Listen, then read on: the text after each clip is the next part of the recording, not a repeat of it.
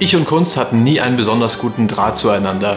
Sobald ich konnte, hatte ich in der Schule Kunst abgewählt und bei Gesellschaftsspielen, bei denen es irgendwie ums Malen geht und irgendjemand erraten muss, was ich gezeichnet habe, möchte mich eigentlich keiner wirklich dabei haben. Nope. Dabei finde ich es trotzdem faszinierend, wie gut manche Leute malen oder zeichnen können oder aber auch für wie viel Geld manche Kunstwerke einfach verkauft werden. Ich bin dann selber auf Selbstexperimente im Internet gestoßen, wo Leute versucht haben, in einer Woche zeichnen oder malen zu lernen oder manchmal auch versucht haben, haben, diese Gemälde zu verkaufen. Und da habe ich gedacht, das Ganze möchte ich auch gerne versuchen. Ich möchte also in sieben Tagen versuchen, zeichnen zu lernen. Und zwar habe ich mir vorgenommen, drei Gegenstände bzw. drei Sachen zu zeichnen. Und ich werde jetzt im Anfang diese drei Gegenstände einfach mal so zeichnen, wie ich sie jetzt gerade zeichnen würde.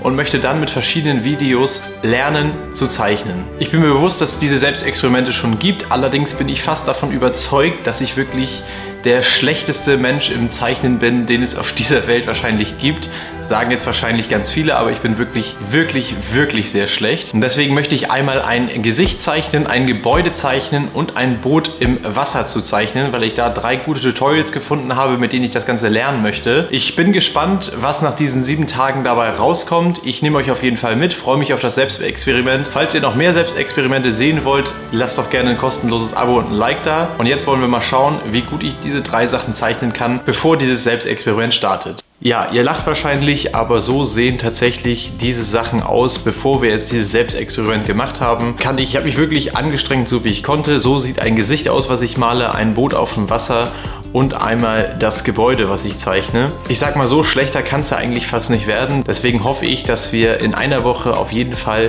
etwas an Fortschritt sehen können. Als allererstes soll man erstmal lernen, Figuren bzw. Formen zu zeichnen, weil sich wohl ganz viele Sachen einfach aus den einfachsten Formen zusammensetzen. Deswegen habe ich jetzt in mehreren Tutorials gehört, dass man einfach anfangen soll, Kreise, Rechtecke, Quadrate, was auch immer, erstmal so oft zu zeichnen, bis das irgendwie ins Blut übergegangen ist. Ich finde, das hört sich irgendwie merkwürdig an.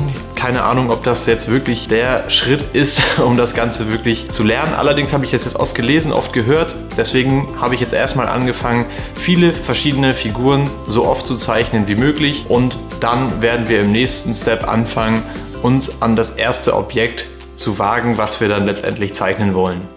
Für das Zeichnen verwende ich übrigens auch jetzt keine speziellen Stifte oder spezielles Papier, sondern arbeite ganz einfach mit Bleistiften und zeichne erstmal ganz normal aufs Papier. Ja, an Tag 2 habe ich dann ganz einfach erstmal weiterhin an der Linienführung gearbeitet. Zum zweiten habe ich dann versucht, langsam in Perspektive zu zeichnen und auch das ganze Thema Schatten nochmal genauer zu betrachten.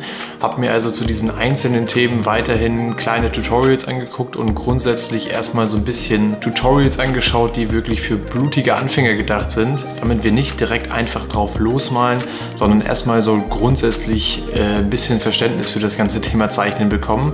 Und morgen an Tag 3, denke ich mal, werden wir dann langsam anfangen, die Objekte zu zeichnen, die wir letztendlich uns auch vorgenommen haben zu zeichnen.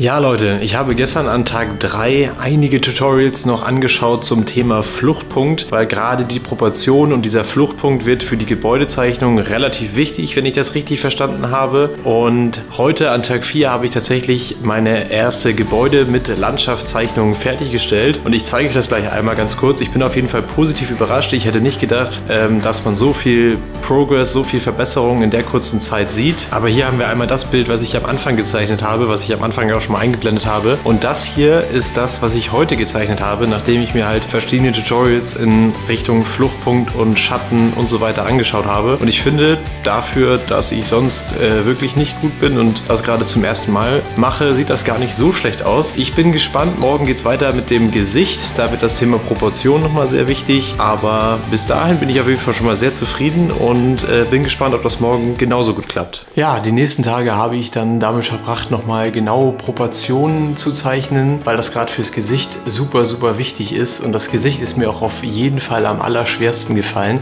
Das werdet ihr gleich nochmal sehen. Bei dem Boot war das auch relativ wichtig, weil ich ja gerne das Boot im Wasser liegend zeichnen wollte. Auch das werde ich gleich einmal zeigen. Ich bin allerdings sehr zufrieden mit dem, was ich in dieser Woche gelernt habe.